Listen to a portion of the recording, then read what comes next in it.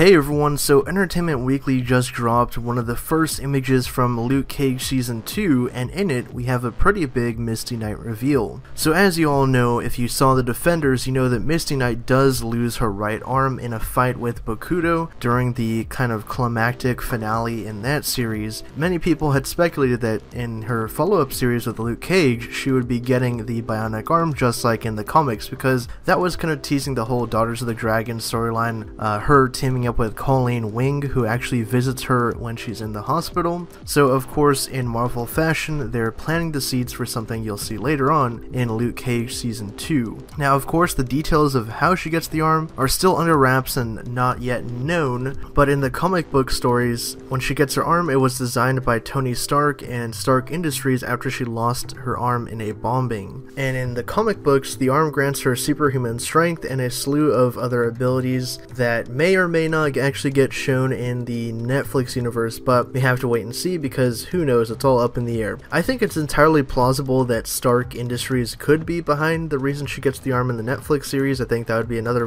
great way to tie in the whole universe together, as some have questioned whether this is one big universe or not. And of course, as for the image itself, I haven't really talked about that yet. It looks pretty cool. We see them both walking in what looks to be a garage together. It looks like they're actually going to be teaming up this time around rather than kind of doing their own separate stories. So I'm definitely looking forward to seeing how this pans out, and hopefully we get some action with Colleen Wing as well and that storyline. So anyways, leave your thoughts down in the comments below. What do you guys think of this? Do you like the arm so far? Do you not like it? Do you think it needs more gold? Leave all that down below. As always, thank you all for watching, and for more on Luke Cage Season 2 and the Marvel Cinematic Universe, subscribe to Hybrid Network.